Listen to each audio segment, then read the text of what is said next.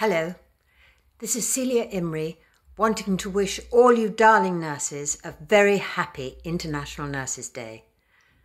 I think you're all angels. I really do. I have two nursing sisters, and when we were all growing up in Guildford, my father, Dr. David Imrie, was a radiologist at the Royal Surrey County Hospital.